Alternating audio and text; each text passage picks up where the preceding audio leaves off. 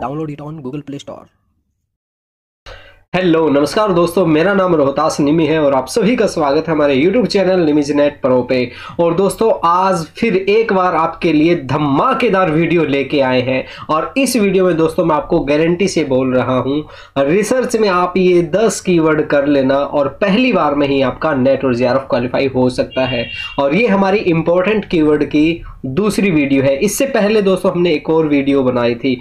और इस वीडियो में दोस्तों हम आपको 2012 से लेके 2023 तक हर बार रिपीट होने वाले 10 ऐसे क्वेश्चन बताएँगे, जो आगे भी एग्ज़ाम में आएँगे। और इन 10 क्वेश्चन को केवल एक शब्द देख के आपको किस तरह से करना है, ये सारी चीज़ें आज हम आपको बताने वाले हैं। और रियली में बोल रहा हूँ दोस्तों, अगर आप ये वीडियो देख लेंगे तो आप एक बात कहेंगे कि, सर, आपने ये वीडियो पहले क्यों नहीं बनाई? तो दोस्तों, इस वीडियो को आप पूरा देखना और ध्यान से देखना। और इससे पहले एक और वीडियो बनाई थी, वो मैं आपको दिखा देता हूँ। रिसर्च एप्टीट्यूड में बसी पाँच कीवर्ड देख लो। पेपर एक में दस नंबर आपके पक्के और ज़िंदगी भर याद रहेंगे टॉपिक और मैंने आपको ऐसा क्या बताया है इन वीडियो में? एक एक शब्द मैंने बताया, केवल एक शब्द को देख के आप पूरे क्वेश्चन को कर सकते हैं। पूरी राम कहानी आपको पढ़ने की ज़रूरत नहीं है। केवल एक शब्द से आप पूरा क्वेश्चन कर सकते हैं। तो दोस्तों, इस वीडियो को आप पूरा देखना और ध्यान से देखना। और हाँ एक और आप लोगों से मेरे को शिकायत है। आप सभी दोस्त वीडियो को देखते हैं, उसको लाइक करते कमेंट करते लेकिन आप सब्सक्राइब नहीं करते। दोस्तों अगर आपको हमारी वीडियो अच्छी लगे तो इस वीडियो को लाइक कमेंट शेयर और सब्सक्राइब ज़रूर करना भाई। चैनल को सब्सक्राइब करना। बहुत से दोस्त केवल वीडियो देखते लाइक करते, लेकिन सब्सक्राइब नहीं करते। दोस्तों एन टी नेट एग्ज़ाम 2023 को देखते हुए हमने आप सभी के लिए एक स्पेशल पेड कोर्स लॉन्च किया है। Complete study course for paper first इस कोर्स में आपको क्या क्या मिलने वाला है? नंबर एक पे दोस्तों आपको all ten unit study notes मिलेंगे हिंदी, इंग्लिश में। नंबर दो पे दोस्तों आपको ऑल टेन यूनिट की एड फ्री वीडियोज़ मिलेंगी। नंबर तीन पे दोस्तों आपको 2012 से लेकर 2022 तक सभी शिफ्ट के क्वेश्चन पेपर हिंदी, इंग्लिश में मिलेंगे। नंबर चार पे दोस्तों आपको 2012 से लेकर 2022 तेईस तक जो भी हमारे क्वेश्चन आए हैं, वो यूनिट वाइज किए हुए मिलेंगे। जैसे कि हमारे रिसर्च के क्वेश्चन आज तक जो आज के वो अलग है आईसीटी के अलग है कम्युनिकेशन के अलग है, सभी यूनिट के क्वेश्चन आपको अलग अलग किए हुए मिलेंगे। नंबर पाँच पे दोस्तों, जो सबसे यूनिक चीज़ आपको कहीं भी नहीं मिलेगी। हमने यूनिट में से सब टॉपिक वाइज क्वेश्चन भी अलग किए हुए हैं। जैसे कि रिसर्च में हम बात करें type of research type of hypothesis type of sampling इस तरह से हम बात करें टीचिंग में type of teaching method model of teaching इस तरह से सभी यूनिट के सब टॉपिक वाइज क्वेश्चन भी आपको अलग किए हुए मिलेंगे। नंबर छह पे दोस्तों, आपको मोस्ट रिपीटेड होने वाले क्वेश्चन के बारे में बताया जाएगा, इनके नोट्स दिए जाएँगे, इनकी वीडियोस आपको मिलेगी प्लस में आपको लाइव मॉक टेस्ट भी मिलेगा इनका। नंबर सात पे दोस्तों, आपको मैथ और डीआई के क्वेश्चन सोल्व किए हुए मिलेंगे नोट्स के अंदर। इस दौरान दोस्तों वीडियोस आपको लाइव प्लस में रिकॉर्डेड मिलेगी। जो दोस्तों लाइव क्लास लेना चाहता है, वो लाइव ले सकता है, और जो रिकॉर्डेड देखना चाहता है, वो रिकॉर्डेड क्लास भी देख सकता है। दौरान आपको किसी भी तरह की कोई प्रॉब्लम आती है तो आप हमें व्हाट्सएप पे भी कॉन्टेक्ट कर सकते हैं। तो इसकी कोर्स की प्राइस हम बात करें तो सात से आठ हज़ार रुपए इसकी फ़ीस बनती है। लेकिन आपसे इतना पैसा नहीं लिया जा रहा दोस्तों, आप पाँच से लेकर हज़ार रुपए में इस कोर्स को ज्वाइन कर सकते हैं। और समय समय पर ऑफ़र चेंज होता रहता है तो आप नीचे वीडियो डिस्क्रिप्शन बॉक्स में लिंक दिया हुआ है, वहाँ से इस कोर्स को बाय कर सकते हैं। थैंक यू दोस्तों। दोस्तों, आज हम सबसे पहले बात करने वाले हैं टाइप ऑफ़ स्किल के बारे में नॉमिनल ऑर्डिनल इंटरवल और रेशो स्किल और उसके बाद में हम बात करेंगे दोस्तों वर्कशॉप सेमिनार और कॉन्फ्रेंस और उसके बाद में हम बात करेंगे रिसर्च एथिक्स इन सभी टॉपिक में मैं आपको एक एक शब्द ऐसे बताऊँगा, जिनको देख के आप पूरा का पूरा क्वेश्चन कर सकते हैं। चलिए दोस्तों, सबसे पहले हम बात करते हैं nominal scale ordinal scale interval scale और रेसो स्केल की। और इनको थोड़ा सा समझ भी लेते हैं, उसके बाद में हम इन क्वेश्चन को करेंगे। जी देखिए, इसके अंदर क्या है? हमारा सबसे पहले है नॉमिनल स्केल है। नॉमिनल स्केल को हम किस तरह से याद करेंगे? कैसे हम इसको पहचानेंगे? इसके अंदर जो भी हमारी चीज़ होती है, उसको कैटेगरी में डिवाइड कर दिया जाता है, उसको नाम दे दिया जाता है, कुछ तो इस तरह से उसको हम पहचानते हैं। जैसे मान के चलिए ये हमारे रेसर है, यहाँ पे रेस लगा रहे हैं रनर है तो इनको नाम दे दिया, ये सेवन नंबर है, ये एट नंबर है, ये थ्री नंबर है। और यहाँ पे और भी चीज़ें हो सकती है, जैसे किसी को कैटेगरी में डिवाइड कर दिया, ये मेल है, ये फीमेल है, ये कार है, ये बाइक है, इस तरीके से नाम से संबोधित करते उस चीज़ को, या फिर कैटेगरी में डिवाइड करते हैं। और उसके बाद में हम बात करते हैं दोस्तों ऑर्डिनल स्केल की बात करते हैं। ऑर्डिनल स्केल के अंदर उसका ऑर्डर डिसाइड करते हैं। ये पहले नंबर पे आया, दूसरे पे आया, तीसरे पे आया या फिर उसको सिक्वेंस में लगाते हैं डिक्रीजिंग ऑर्डर में या फिर इंक्रीजिंग ऑर्डर में, यानी कि उसका एक ऑर्डर डिसाइड होता है उसके अंदर। जैसे यहाँ पे आप देख सकते हैं, ये जो रनर थे, यहाँ पे इन्होंने रेस लगाई, उसके बाद में इसका तीसरा स्थान आया, इसका दूसरा आया, इसका पहला स्थान आया।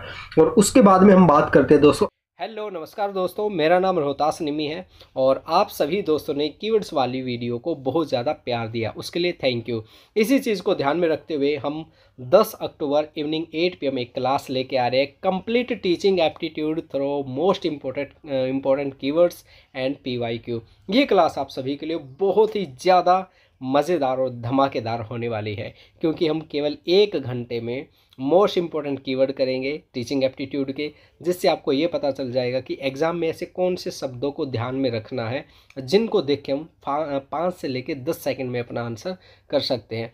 प्लस में इससे रिलेटेड जो क्वेश्चंस आए हैं हमारे 2023 तक 2012 से लेकर 2023 तक क्वेश्चन हम करने वाले हैं। तो बहुत ही ज़बरदस्त ये क्लास होने वाली है। अन अकेडमी पर क्लास होगी। लिंक आपको नीचे वीडियो डिस्क्रिप्शन बॉक्स में दिया हुआ है। तो जल्दी से इस क्लास को ज़रूर ज्वाइन कर लेना। ठीक है? तो थैंक यू। धन्यवाद दोस्तों। सो इंटरवल स्केल की बात करते हैं। और इंटरवल स्केल के अंदर क्या होता है दोस्तों? इसके अंदर जो भी हमारे नंबर होते हैं, उनको एक इंटरवल के अंदर डिसाइड किया जाता है। जैसे कि ज़ीरो से लेके दस स्केल है। इसके अंदर हम देखते हैं कि जो ये बंदा है, तीसरे नंबर पे ये जो बंदा आया है, इसकी क्या पोजीशन रही है? इसको दस में से कितने नंबर मिले हैं? आठ में से एट पॉइंट टू इसको पॉइंटिंग दी गई है। उसके बाद में सेकंड नंबर को नो पॉइंट वन दिया गया है और फिर नाइन पॉइंट सिक्स दिया गया है। इस तरीके से यहाँ पे इंटरवल होता है। और भी कई चीज़ें होती है इसके अंदर। इंटरवल के अंदर हम बात करें, जैसे पाँच से लेके दस दस से लेके पंद्रह पंद्रह से लेके बीस, इस तरीके से इक्वल इंटरवल ऑफ़ टाइम भी हो सकता है, कुछ भी चीज़ें इसके अंदर हो सकती है। कहने का मतलब है इंटरवल होता है इसके अंदर। एक डिसाइड होता है भी उसके अंदर में से हमें पोजीशन देनी है। आगे हम बात करते हैं दोस्तों रेसो स्केल की बात करते हैं। रेसो स्केल के अंदर क्या है कि एक्चुअल में जो रिज़ल्ट आया है एक्चुअल चीज़ हम बताते हैं। भाई, ये बंदा कितने मीटर तक दौड़ा? ये पंद्रह पॉइंट दो मीटर तक दौड़ा, फिर ये चौदह पॉइंट एक मीटर तक दौड़ा और ये तेरह पॉइंट चार मीटर तक दौड़ा। यहाँ पे एक्चुअल जो चीज़ है, वो हम यहाँ पे बताते हैं।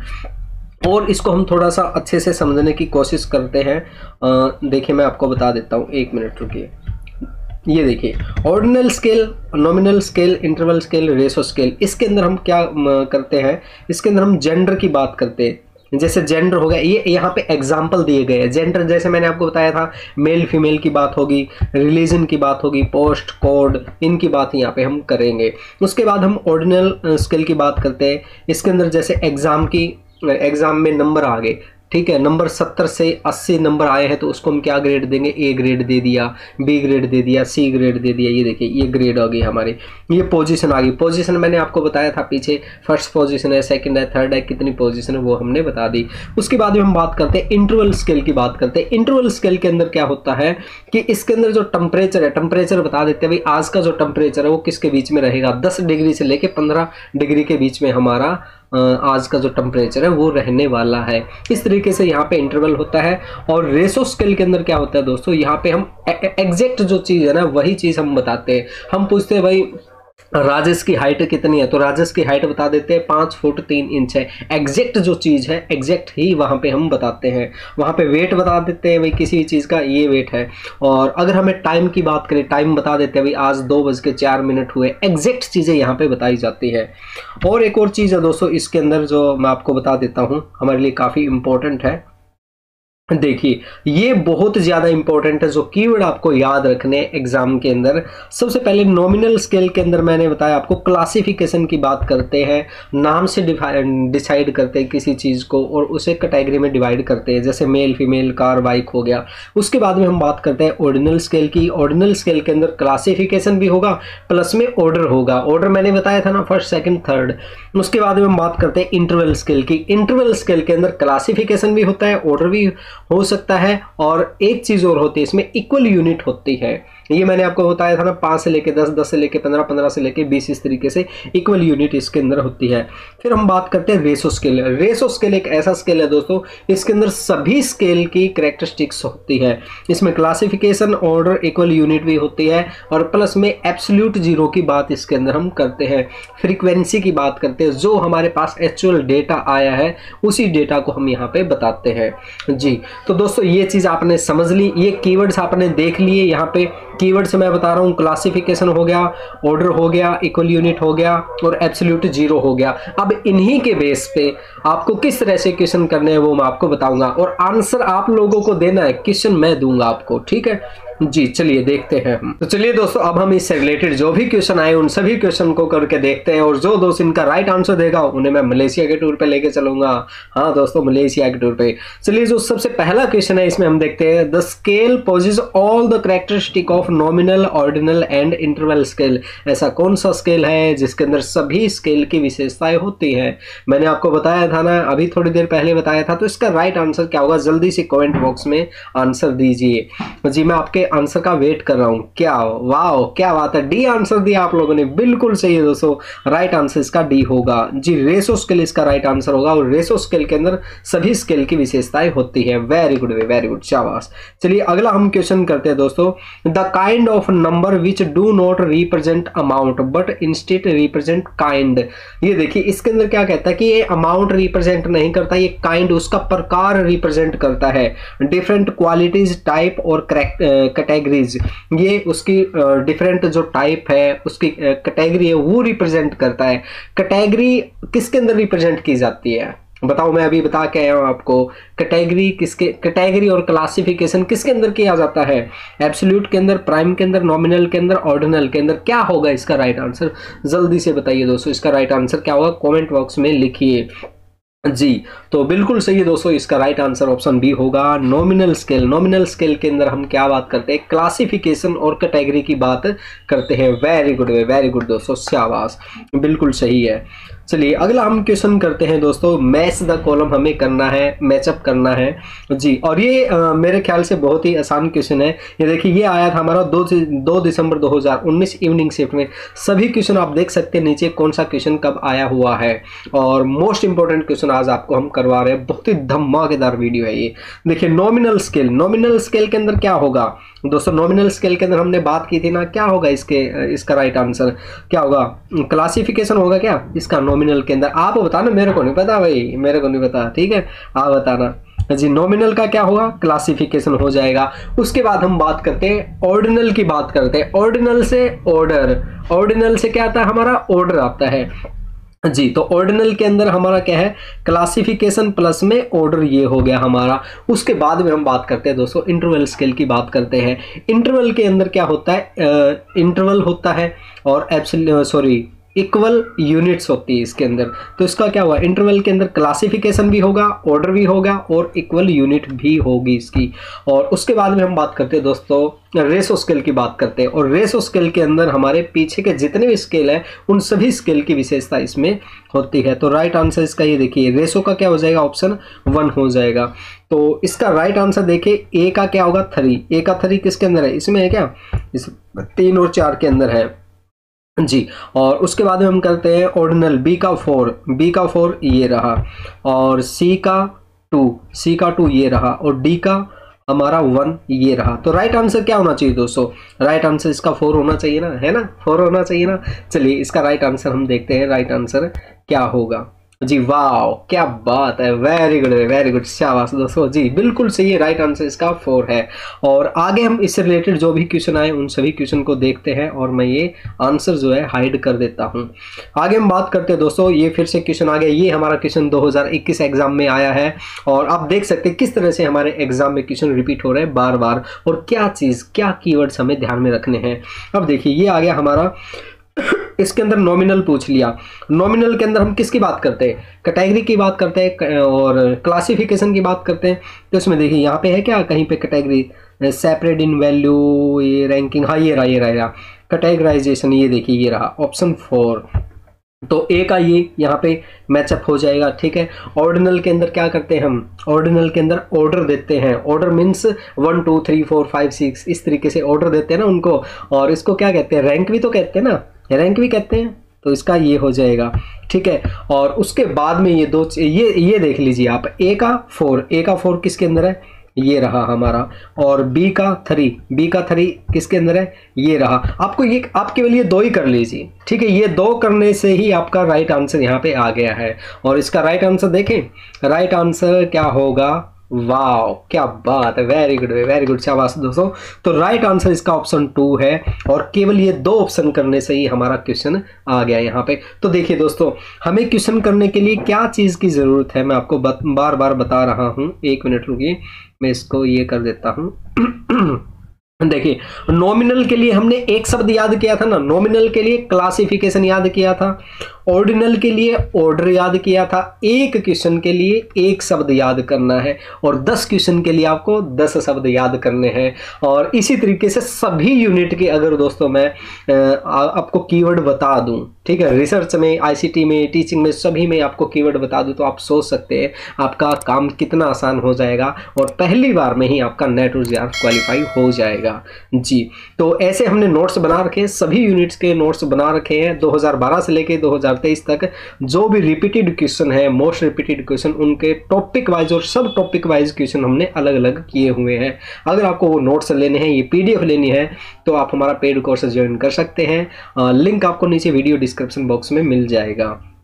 जी, आगे हम बात करते हैं दोस्तों, ये क्वेश्चन आया था हमारा 6 दिसंबर 2019 को आया था और इसके अंदर हमारा क्या है वो हम देखते हैं। ये देखिए, इसके अंदर क्या है क्वेश्चनायर एंड इंटरव्यू है और इंटेलिजेंसी एंड एप्टीट्यूड टेस्ट है aptitude test and value test अच्छा उसके बाद में लास्ट में ये देखिए हमारा स्पीड एंड फ्रीक्वेंसी टेस्ट अब ये बताइए फ्रीक्वेंसी किसके अंदर बात की थी? थोड़ा सा सोचिए सोचिए। फ्रीक्वेंसी की एब्सोल्यूट ज़ीरो की बात, जिसमें एग्जैक्ट वैल्यू हम बताते हैं, भाई, इसकी ये वैल्यू इसका वज़न इतना है। टाइम दो बज के तेरह मिनट हुए हैं। तो ये किसके अंदर हम करते थे? रेसो स्केल के अंदर करते थे क्या हम? हम्म? रेसो स्केल के अंदर करते थे ना? और यहाँ पे देखिए डी का वन किसके अंदर है?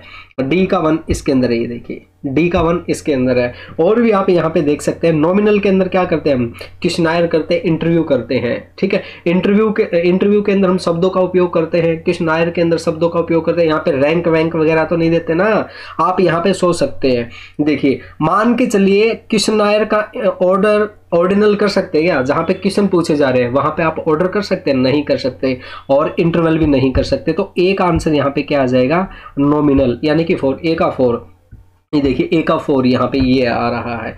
तो आप देख सकते हैं दोस्तों, किस तरह से बिल्कुल आसानी से क्वेश्चन हो रहे हैं। और अगर आपको वीडियो पसंद आ रही है ना दोस्तों, मज़ा आ रहा है तो यार चैनल को अभी सब्सक्राइब कीजिए, वीडियो को लाइक कीजिए कमेंट कीजिए और शेयर कीजिए, ताकि हम आपके लिए आगे ऐसे ही वीडियोज़ बनाते रहे। अगर आप सभी यूनिट की वीडियो चाहते चाहते हैं कि आप लोग टीचिंग की आईसीटी की रिसर्च की सभी यूनिट की वीडियो चाहते तो आप कमेंट बॉक्स में मेरे को लिखिए, हम आप आपके लिए ऐसे ही वीडियोस फ्री में बनाएँगे।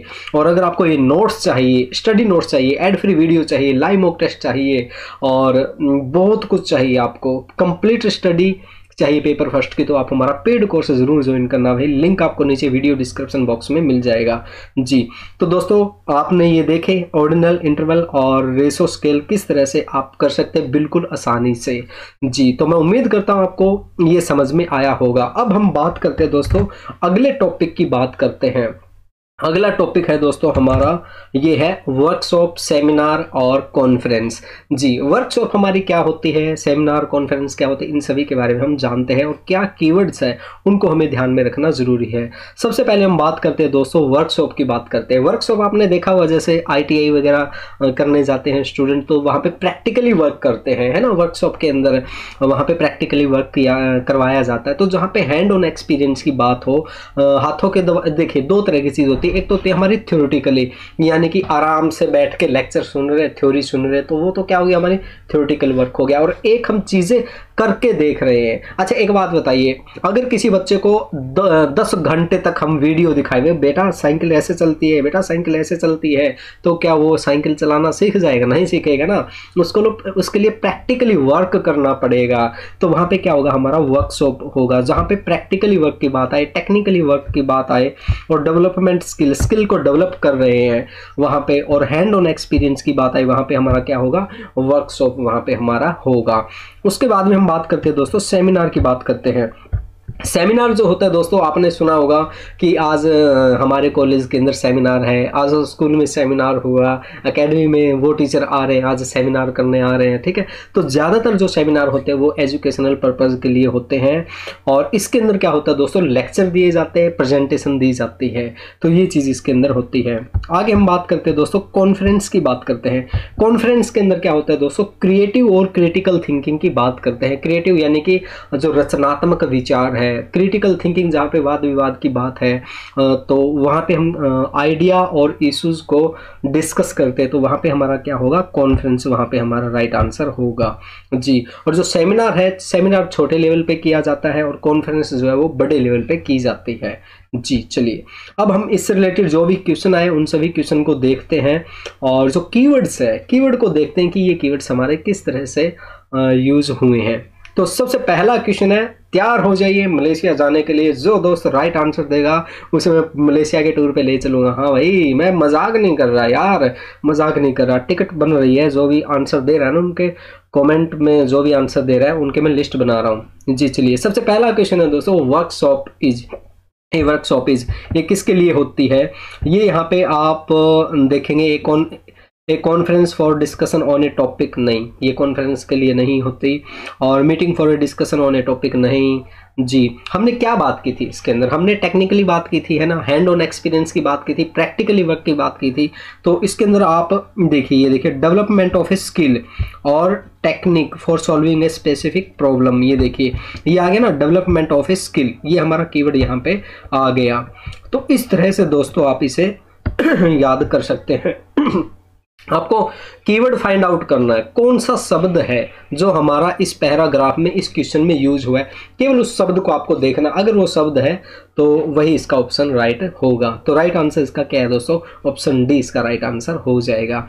जी, चलिए, अगला क्वेश्चन हम करते हैं। जब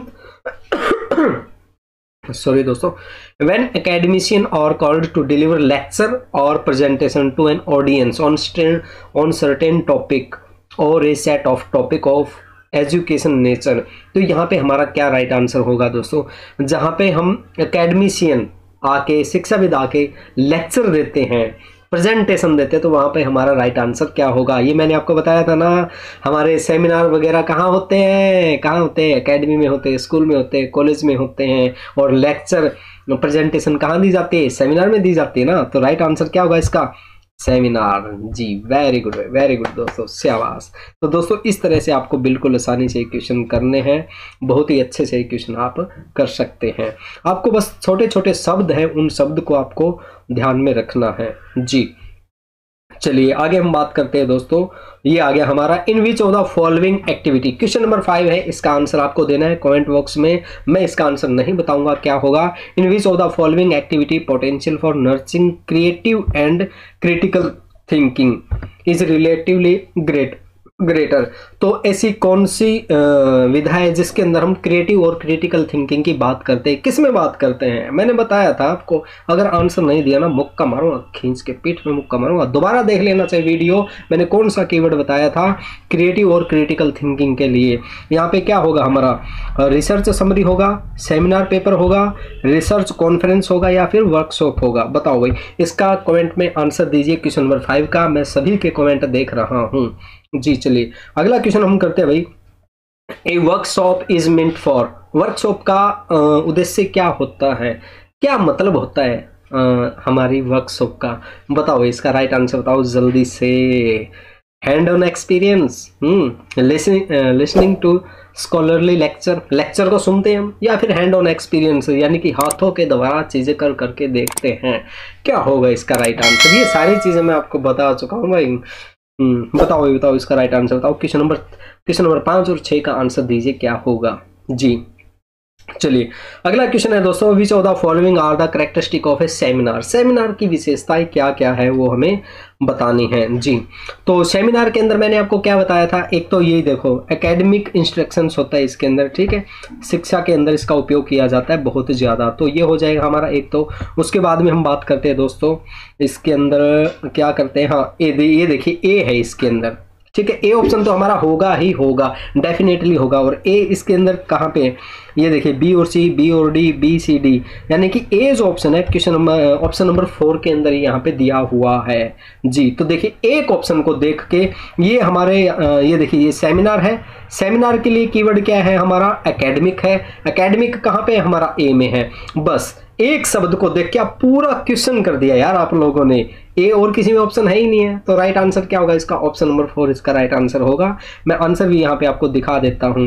ये देखिए ऑप्शन नंबर फोर इसका राइट आंसर है। तो दोस्तों, इस तरह से आप बिल्कुल आसानी से और बिल्कुल आसानी से क्वेश्चन को कर सकते हैं। हर यूनिट के अंदर ऐसे क्वेश्चन होते हैं जो बार बार एग्ज़ाम में रिपीट होते हैं और उनके छोटे छोटे कीवर्ड से एक शब्द को देख के आप पूरा क्वेश्चन कर सकते हैं। अगर दोस्तों आप, आपको ये सब कुछ जानना है तो ये सब कुछ हम आपको पेड कोर्स में बता रहे हैं। अगर आपको ये पीडीएफ चाहिए, आपको पूरा स्टडी मटेरियल चाहिए, ad free videos, all ten unit study notes 2012 से लेके 2023 तक सभी शिफ्ट के क्वेश्चन पेपर हिंदी, इंग्लिश में और टॉपिक वाइज और सब टॉपिक वाइज क्वेश्चन हमने अलग अलग किए हुए हैं। यहाँ पे आप देख देख सकते हैं रिसर्च के अंदर जो टाइप ऑफ़ स्केल है उसके क्वेश्चन अलग रखे हैं वर्कशॉप के अलग है और इथिक्स के अलग है। सभी क्वेश्चन हमने, सब टॉपिक टॉपिक वाइज भी अलग अलग किए हुए हैं। अगर आप इस तरह से तैयारी करेंगे ना दोस्तों पेपर फ़र्स्ट और पेपर सेकंड की तो आपका पहली बार में ही नेट और जे क्वालिफाई हो जाएगा। और पेपर फ़र्स्ट की गारंटी हमारी है। हम आपको जे दिलवा के रहेंगे। हमारा टारगेट सिर्फ़ एक है, हम जे लेके रहेंगे। तो दोस्तों, जल्दी से जल्दी आप हमारा ये पेड कोर्स ज्वाइन कीजिए। लिंक आपको नीचे वीडियो डिस्क्रिप्शन बॉक्स में मिल जाएगा। जी और या फिर आप हमारी ऐप निमिज नेट डाउनलोड कर लेना, उसमें आपको सब कुछ मिलेगा दोस्तों। जी, चलिए, अगला हम क्वेश्चन करते हैं। देखिए, अगला क्वेश्चन आ गया हमारा। In which of the following arrangement a wider spectrum of idea and issue may be made possible अब ये देखिए बड़े लेवल पे हम आइडिया और इशू को डिस्कस कहाँ पे करते हैं? ये देखिए मैंने आपको बताया था ना जो सेमिनार होता है सेमिनार छोटे स्तर पे होता है और कॉन्फ्रेंस जो होती है सम्मेलन जो होता है सम्मेलन बड़े लेवल पे होता है। ठीक है सम्मेलन के अंदर क्या होता है? जैसे आ, कई बार सम्मेलन आपने सुना होगा कि वहाँ पे सभा हो रही है बड़ा सम्मेलन हो रहा है। तो सम्मेलन के अंदर हज़ारों लोग भी हो सकते हैं कितने भी हो सकते हैं। वहाँ पे हम आइडियाज़ और इशू को डिस्कस करते हैं। ठीक है तो वहाँ पे हमारा राइट आंसर क्या होगा? ऑप्शन नंबर थ्री कॉन्फ्रेंस हमारा राइट आंसर होगा। तो दोस्तों, इस तरह से आप बिल्कुल आसानी से आंसर दे सकते हैं सभी क्वेश्चन का। जी तो मज़ा आ रहा है ना दोस्तों आप लोगों को? वीडियो को यार लाइक कमेंट और शेयर ज़रूर करना। प्लस में हमारे हमारे चैनल को सब्सक्राइब ज़रूर करना। बहुत से दोस्त केवल वीडियो देखते हैं, लेकिन सब्सक्राइब नहीं करते। मैं उम्मीद करता हूँ आपसे कि आपको वर्कशॉप सेमिनार और कॉन्फ्रेंस अच्छे से समझ में आ गए होंगे। और इनके जो कीवर्ड है कीवर्ड को आप याद रख लेना, घोट के पी लेना, चाहे कुछ भी करना यार। बस आप ये शब्द याद कर लेना, इससे आपका बेड़ा पार हो जाएगा। पहली बार में नेट जे क्वालिफाई हो सकते हैं आप। जी, चलिए। चलिए दोस्तों, अब हमारा अगला टॉपिक है रिसर्च एथिक्स इससे रिलेटेड हमारे जो भी क्वेश्चन आए हैं और कौन से कीवर्ड्स हैं जिनको हमें ध्यान में रखना है, उनकी हम बात करेंगे। जी तो इसके अंदर रिसर्च एथिक्स को हिंदी में क्या कहते हैं? शोध नैतिकता कहते हैं। जो भी हम काम कर रहे हैं, उसमें नैतिकता होनी ज़रूरी है। ये नहीं है कि हम गलत तरीके से कर रहे हैं। हमारे सब्जेक्ट के अंदर मतलब क्वेश्चनायर करने हैं। सौ लोगों का सर्वे करना है। ऐसा नहीं है कि हम घर बैठे ही सभी का सर्वे कर दिया। तो वो क्या है? रिसर्च एथिक्स के खिलाफ है। शोध नैतिकता के खिलाफ है। तो इसमें क्या क्या चीज़ें हैं जो हमें ध्यान में रखनी है? तो हमारे जो क्वेश्चन आते हैं दोस्तों रिसर्च एथिक्स में, एक तो सिंपली यही क्वेश्चन आते हैं कि वहाँ पे कोई गलत तरीके से काम कर रहा है तो वो आपको थोड़ा सा वहाँ पे समझना पड़ेगा। और जो कीवर्ड्स है कीवर्ड्स क्या है वो मैं आपको बताता हूँ। जो रिसर्च एथिक्स है, वो कहाँ पे उपयोग किया जाता है? प्रॉब्लम फॉर्मुलेशन जो हम प्रॉब्लम ले रहे हैं अपने रिसर्च के लिए, वो सही तरीके से लेनी है। ये नहीं है कि हम ऐसे ही हमने उठा ली, कहीं से भी उठा ली तो प्रॉब्लम फाइंड आउट करने में प्रॉब्लम फॉर्मुलेशन के अंदर सबसे पहले इसका उपयोग होता है रिसर्च एथिक्स का। उसके बाद में हम बात करते हैं हाइपोथेसिस टेस्टिंग के अंदर।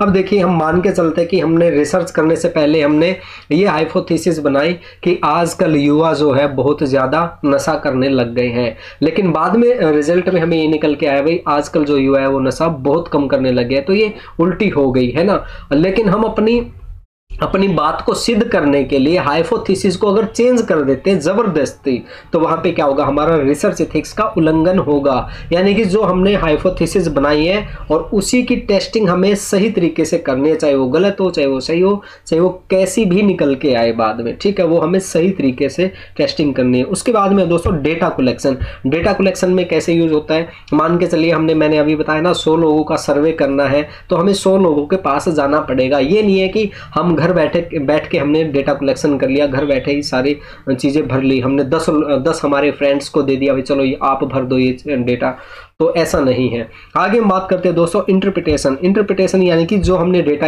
इकट्ठा किया, उसकी व्याख्या। व्याख्या हमें सही तरीके से करनी है, गलत व्याख्या नहीं करनी। ठीक है? उसके बाद हम बात करते हैं रिसर्च फाइंडिंग जो हमारी रिसर्च की फाइंडिंग आई है, वही हमें फाइंडिंग वहाँ पे दिखानी है। जो रिज़ल्ट है वो हमें दिखाना है। उस रिज़ल्ट के साथ हमें हेर फेर नहीं करनी, कोई भी बदलाव उसमें हमें नहीं करना। जी तो राइट आंसर इसका सॉरी इसका जो कीवर्ड है वो रिसर्च फाइंडिंग भी हो जाएगा। पाँच कीवर्ड है इसके अंदर। Research formulation hypothesis testing data collection interpretation और रिसर्च फाइंडिंग तो इन्हीं कीवर्ड को हम देखेंगे क्वेश्चन में किस तरह से बार बार रिपीट हुए हैं। जी, चलिए। तो सबसे पहला जो क्वेश्चन है दोस्तों, हमारा ये है research ethics has a direct connection more often with which stage of research? कौन सी स्टेज के अंदर हमारा रिसर्च इथिक्स उपयोग होता है वो हमें बताना है? मैंने आपको कीवर्ड बताए थे वो कीवर्ड हम देखते हैं कहाँ कहाँ पे यूज़ हो रहे हैं। ये देखिए defining and delimit of the scope of research नहीं इसकी हमने बात नहीं की थी। प्रॉब्लम फॉर्मुलेशन इसकी बात की थी ना? ठीक है and report of research finding ये देखिए रिसर्च फाइंडिंग की बात की थी हमने और प्रॉब्लम फॉर्मुलेशन इन दो की बात की थी, थी। ठीक है तो ऑप्शन दो, ये बिल्कुल सही है दोस्तों। इन दोनों कीवर्ड की बात की थी, ये दोनों कीवर्ड हमें यहाँ पे मिल गए तो राइट आंसर इसका यहीं पे हो, यहीं पे इसका आंसर हो जाएगा। ऑप्शन टू इसका राइट आंसर है, और आंसर यहाँ पे देख भी लेते जी, बिल्कुल सही है दोस्तों राइट आंसर इसका ऑप्शन नंबर टू है। जी, और दोस्तों आप ना जितने भी क्वेश्चन है, आप ओल्ड ईयर क्वेश्चन पेपर करके देखना, और जो कीवर्ड मैं आपको बता रहा हूँ, क्या वो कीवर्ड यूज़ हो रहे या नहीं हो रहे, ये भी आप मेरे को बताना। चलिए अगला जो क्वेश्चन है दोस्तों, उसको हम देखते हैं। निम्नलिखित में से कौन सा शोध नैतिकता का मुद्दा हो सकता है? उसके बारे में हम बात करते हैं। इसमें कौन सा मुद्दा हो सकता है? ये देखिए यहाँ पे कीवर्ड फाइंड आउट कीजिए कीवर्ड फाइंड आउट कीजिए। चॉइस ऑफ़ सैम्पलिंग टेक्निक नहीं रिपोर्टिंग ऑफ़ रिसर्च फाइंडिंग ये आ गया ना हमारा? Research finding yes yes yes ये देखिए रिसर्च फाइंडिंग तो इसका राइट right आंसर क्या हो जाएगा दोस्तों? ऑप्शन फोर इसका राइट right आंसर हो जाएगा। जी तो इस तरह से बिल्कुल आसानी से क्वेश्चन को आप कर सकते हैं। अगला क्वेश्चन है दोस्तों, हमारा the issue of research ethics is pertinent at which of the following stage of research कहाँ कहाँ पे हमारा ये यूज़ होता है, वो हमें बताना है रिसर्च एथिक्स रिसर्च की कौन सी स्टेज में। अब ये देखिए, इसमें हम फाइंड आउट करते हैं, वही हमारे कीवर्ड्स तो इसमें देखते हैं। ये देखिए data collection data analysis report of research finding and result ये देखिए, यहाँ पे आ गया हमारा। ऑप्शन नंबर फोर इसका राइट आंसर यहाँ पे हो जाएगा। जी तो यहाँ पे हम इसका कीवर्ड है, ये हमें मिल गया। तो इस तरह से आप बिल्कुल आसानी से क्वेश्चन को कर सकते हैं। दोस्तों, आ रहा है ना, मज़ा आ रहा है ना? तो दोस्तों, अगर आपको रियली में मज़ा आ रहा है यार तो वीडियो को लाइक कीजिए कमेंट कीजिए शेयर कीजिए और चैनल को सब्सक्राइब करना मत भूलिए। जी, चलिए। अगला जो क्वेश्चन है दोस्तों, अगले क्वेश्चन को हम देखते हैं। The issue of research ethics became relevant in which of the following stage of research और ये क्वेश्चन आप नीचे देख सकते हैं। दो दिसंबर 2019 को क्वेश्चन आया हुआ है। और इसमें हम वही देखते हैं, हमारे कीवर्ड कौन कौन से उन कीवर्ड को हम फाइंड आउट करते हैं। देखिए, यहाँ पे है हाइपोथेसिस टेस्टिंग ये बात हमने की थी ना हाइपोथेसिस टेस्टिंग की। और उसके बाद में डेटा एनालिसिस एंड इंटरप्रिटेशन ये दोनों की हमने बात वहाँ पे की थी। तो ये देखिए बी और सी इसका राइट आंसर हो जाएगा बी और सॉरी सी और डी सी और डी इसका राइट आंसर यहाँ पे हो जाएगा। और राइट right आंसर इसका यहाँ पे देख भी लेते हैं, इसका राइट right आंसर क्या होगा? राइट right आंसर इसका ऑप्शन थ्री है दोस्तों सी एंड डी अच्छा अब कई दोस्त इसके अंदर एक चीज़ और कह सकते हैं कि प्रॉब्लम सिलेक्शन के अंदर भी हमने इसकी बात की थी की थी ना? तो इस हिसाब से इसका आंसर होना चाहिए ए सी डी इसका राइट आंसर होना चाहिए। लेकिन दोस्तों, तीनों का कॉम्बिनेशन यहाँ पे दिया हुआ है ही नहीं। यूजीसी ने तो हम क्या करें? तो इसमें से जो ऑप्शन दिया है, उस हिसाब से हमारा राइट आंसर क्या होगा? सी और डी इसका राइट आंसर हो जाएगा। तो दोस्तों छोटे छोटे कीवर्ड्स को हमें ध्यान में रखना है। यहाँ से आप बिल्कुल आसानी से क्वेश्चन को कर सकते हैं। देखिए, आगे फिर आगे हमारा the problem of research ethics is concern with which aspect of research activity? कौन सी एक्टिविटी के साथ हमारा रिसर्च एथिक्स जुड़ा हुआ है? Evidence based research reporting. Research reporting की बात की थी हमने, है ना? तो राइट आंसर इसका यहाँ पे हो जाएगा ये। दोस्तों तो इस तरह से आप बिल्कुल आसानी से क्वेश्चन को कर सकते हैं।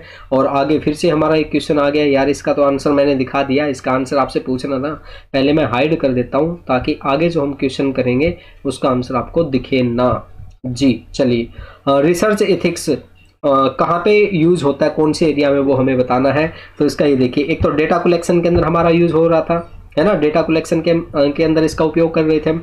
उसके बाद हम किसमें कर रहे थे? डेटा एनालिसिस में कर रहे थे। रिसर्च एथिक्स का उपयोग और उसके बाद में हम किसमें उपयोग कर रहे थे? ये है हमारा सिलेक्टिंग ए रिसर्च प्रॉब्लम ये देखिए ये रहा हमारा ऑप्शन ठीक है? तो ऑप्शन एक तीन और छ एक तीन और छ है इसमें। आ, हाँ यहाँ पे छः आएगा दोस्तों। छः आएगा यहाँ पे। एक तीन छः आएगा। एक तीन पाँच नहीं आएगा। राइट आंसर इसका ऑप्शन बी होगा और आंसर मैं आपको दिखा भी देता हूँ ये देखिए ऑप्शन इसका बी है और यहाँ पे पाँच की जगह छः आएगा दोस्तों। यहाँ पे मैं कल बना रहा था, ये जब क्वेश्चन अलग अलग कर रहा था तो वहाँ पे छः था, गलती से यहाँ पे पाँच लिखा गया। जी, और इसे कल भी मैं सोच रहा था, सही करना है, लेकिन ध्यान में नहीं रहा। जी, ये छः आएगा। एक, तीन और छः इसका राइट आंसर यहाँ पे हो जाएगा। तो दोस्तों, इस तरह से आप बिल्कुल आसानी से क्वेश्चन को कर सकते हैं। कोई भी दिक्कत नहीं आने वाली और मैं आपको फिर से दावे के साथ कहता हूँ, अगर आप इस तरह से पेपर फ़र्स्ट और पेपर सेकंड दोनों की तैयारी करते हैं तो आपका नेट और जे क्वालिफाई हो सकता है पहली ही बार में। और पेपर फ़र्स्ट की गारंटी हमारी है, हम आपको जेआरएफ दिलवा के रहेंगे। आपको सिर्फ़ एक चीज़ करनी है, आपको हमारा पेड कोर्स ज्वाइन करना है, उसके अंदर ऑल टेन यूनिट के स्टडी नोट्स दे रहे हैं वीडियोस दे रहे हैं और टॉपिक वाइज सब टॉपिक वाइज क्वेश्चन आपको दे रहे हैं। ये पीडीएफ जो अभी आप पढ़ रहे हैं हमारे ऐप के अंदर आपको पेड कोर्स में मिल जाएगी। जी, ठीक है? तो आप जल्दी से जल्दी वीडियो डिस्क्रिप्शन बॉक्स में लिंक दिया हो, वहाँ से आप इस कोर्स को ज्वाइन कर सकते हैं। और कोर्स की फ़ीस कोई ज़्यादा नहीं है दोस्तों। कोर्स की फ़ीस 500 से 700 रुपए इसकी नॉर्मल फ़ीस है। जी, और इसमें हम आपको लाइव मॉक टेस्ट भी दे रहे हैं ऐप के अंदर। बहुत कुछ इसमें आपको मिल रहा है। चलिए, अगला जो क्वेश्चन है दोस्तों, ये देखिए। Which of the following steps in research are least vulnerable? To research ethics सबसे कम रिसर्च एथिक्स का उपयोग किसमें किया जाता है? ये बात ये बोल रहे हैं। सबसे कम किसमें उपयोग किया जाता है? वो हमें बताना है। सबसे, इसमें ये देख लिए कहाँ कहाँ पे उपयोग किया जाता है, उनको छोड़ के बाकी। आंसर आ जाएगा हमारा, है ना? तो इसका आंसर आप सभी को देना है कमेंट बॉक्स में। मैं आप सभी के आंसर का वेट कर रहा हूँ। जी, मैं फिर भी थोड़ा सा बता देता हूँ, कहाँ कहाँ पे उपयोग होता है इसका? पहले वो देखते हैं। डेटा कलेक्शन के अंदर होता है इसका, ठीक है? डेटा एनालिसिस के अंदर होता है और रिसर्च आउटकम के अंदर होता है रिपोर्टिंग ऑफ़ रिसर्च आउटकम इन तीनों के अंदर हमारा, इन तीन के अंदर, तीन हाँ हाँ इन तीन के अंदर हमारा उपयोग होता है रिसर्च एथिक्स का। उसके बाद में हमारे ऑप्शन क्या रह गए? ए और बी हमारे ऑप्शन रह गए। और ए और बी किसके अंदर ये देखिए, ये रहे हमारे ऑप्शन वन में है हमारे। इसमें क्या पूछा हुआ है? कहाँ पे रिसर्च एथिक्स का उपयोग बहुत कम किया जाता है? जी तो दोस्तों इस तरह से आप बिल्कुल आसानी से आंसर कर सकते हैं। और एक और चीज़ मैं आपको दिखाता हूँ दोस्तों जो काफ़ी इंपॉर्टेंट आपके लिए आ, एक मिनट एक मिनट ये मिनट के सॉरी सभी शिफ्ट के जो क्वेश्चन आए हुए हैं हमारे 2012 से 23 तक तो ये क्वेश्चन आप कर सकते हैं। एक इंपॉर्टेंट चीज़ मैं आपको दिखा देता हूँ यहाँ पे जो काफ़ी इम्पोर्टेंट है आपके लिए। जो कथन, अभी कथन के क्वेश्चन है, ये देखिए 2021 में जो क्वेश्चन आए हैं, वो भी हमने इसके अंदर इंक्लूड कर रखे हैं, और अभी हमारे पास 2022 के क्वेश्चन भी आ गए, वो भी इसके अंदर इंक्लूड कर देंगे। इसमें जो हमारे कथन, अभी कथन के क्वेश्चन होते हैं, उनको हम देखते हैं, किस तरह से करेंगे। ये देखिए, ये हमारा एक कथन, अभी कथन का क्वेश्चन है। Data analysis in research being a technical job research research ethics does not matter ये बताओ, ये क्या बात सही कह रहा है क्या? ये कह रहा है कि जो डेटा एनालिसिस है, वो एक टेक्निकल कार्य है। इसके अंदर रिसर्च इथिक्स का उपयोग नहीं होता। रिसर्च इथिक्स का कोई मतलब ही नहीं बनता इसके अंदर। ये बताओ, क्या ये बंदा बात सही कह रहा है क्या? स्टेटमेंट सही कह रहा है क्या ये? स्टेटमेंट नंबर वन सही कह रहा है ये? हम्म? हमने कीवर्ड क्या देखा था? डेटा कलेक्शन और डेटा एनालिसिस और रिसर्च फाइंडिंग देखा था ना हमने? तो डेटा एनालिसिस के अंदर उपयोग होता है ना हमारा? होता ना रिसर्च इथिक्स यस तो इसकी जो स्टेटमेंट वन है दोस्तों, वो फॉल्स हो जाएगी। इसकी स्टेटमेंट वन जो है, वो गलत है। तो राइट आंसर इसका क्या होगा? ऑप्शन फोर हो फोर हो जाएगा। कथन एक असत्य है, लेकिन कथन दो वो सत्य है। इसका राइट आंसर यहाँ पे देख भी लेते हैं। ये देखिए दोस्तों राइट आंसर इसका ऑप्शन फोर बिल्कुल सही है ना? है ना? जी यस यस यस तो दोस्तों, इस तरह से आप बिल्कुल आसानी से, बिल्कुल आसानी से कर सकते हैं यार बस थोड़ा सा ध्यान देने की आवश्यकता है। आप लोग अभी तक कैसे पढ़ रहे थे? थ्योरी पढ़ ली, बस रटे जा रहे थे, रटे जा रहे थे। समझ में आ ही नहीं रहा था यार, ये लफड़ा क्या है? किस तरह से हमें पढ़ना है? क्या चीज़ हमारी एग्ज़ाम में रिपीट हो रही है? किस चीज़ पे हमें ध्यान देना है? क्या चीज़ हमें छोड़नी है? ये चीज़ आपको पता ही नहीं थी यार। तो थोड़ा सा इसे स्मार्ट वे में पढ़िए आप, और मैं गारंटी के साथ कह रहा हूँ बार बार आपका पहली बार में नेट जी क्वालिफाई हो सकता है। चलिए, और दोस्तों, मज़ा आ रहा है ना? मज़ा आ रहा है तो यार वीडियो को लाइक कमेंट और शेयर ज़रूर कीजिए, और चैनल को सब्सक्राइब ज़रूर करना है।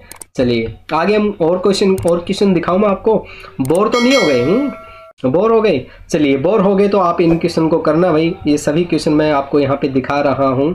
ये सभी क्वेश्चन आप करना। ठीक है, ये पीडीएफ ले लेना। हमारी ऐप के अंदर मिल जाएगी। हमारी ऐप है निमिज नेट ऐप है। ये ऐप डाउनलोड कर लेना। इसके अंदर आपको सब कुछ हमारा मिल जाएगा।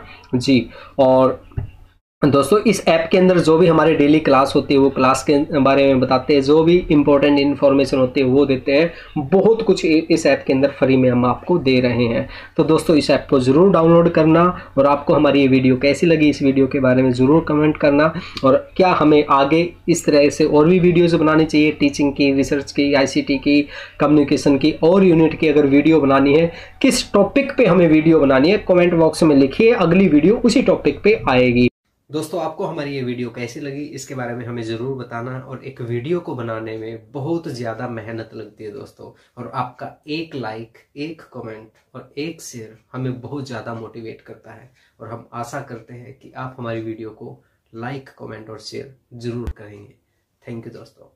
दोस्तों एनटीए यूजीसी नेट एग्ज़ाम 2023 को देखते हुए हमने आप सभी के लिए एक स्पेशल पेड कोर्स लॉन्च किया है। Complete study course for paper first इस कोर्स में आपको क्या क्या मिलने वाला है? नंबर एक पे दोस्तों आपको all ten unit study notes मिलेंगे हिंदी, इंग्लिश में। नंबर दो पे दोस्तों आपको ऑल टेन यूनिट की एड फ्री वीडियोज़ मिलेंगी। नंबर तीन पे दोस्तों आपको दो हज़ार बारह से लेकर दो तक सभी शिफ्ट के क्वेश्चन पेपर हिंदी, इंग्लिश में मिलेंगे। नंबर चार पे दोस्तों आपको दो से लेकर दो हज़ार तक जो भी हमारे क्वेश्चन आए हैं, वो यूनिट वाइज किए हुए मिलेंगे। जैसे कि हमारे रिसर्च के क्वेश्चन आज तक जो आज के वो अलग है आईसीटी के अलग है कम्युनिकेशन के अलग है, सभी यूनिट के क्वेश्चन आपको अलग अलग किए हुए मिलेंगे। नंबर पाँच पे दोस्तों, जो सबसे यूनिक चीज़ आपको कहीं भी नहीं मिलेगी।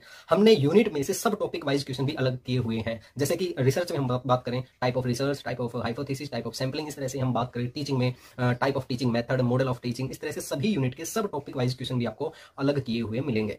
नंबर छह पे दोस्तों, आपको मोस्ट रिपीटेड होने वाले क्वेश्चन के बारे में बताया जाएगा, इनके नोट्स दिए जाएँगे, इनकी वीडियोस आपको मिलेगी प्लस में आपको लाइव मॉक टेस्ट भी मिलेगा इनका।